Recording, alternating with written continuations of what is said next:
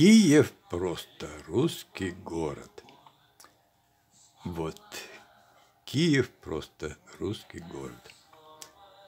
Сообщает ТАСС, что экс-президент РФ заявил так в Телеграм с намеком. Вот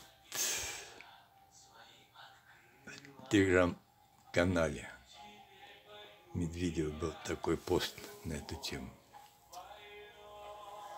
А мной страстишки, кипов записи. Все крутит ворот.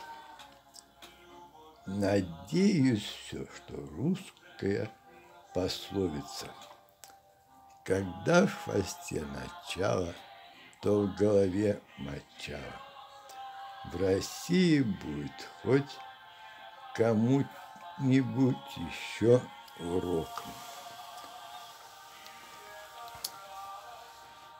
А намек вот в этом, когда был зампред без РФ, чтобы было все предельно ясно, что и как надо возвращать.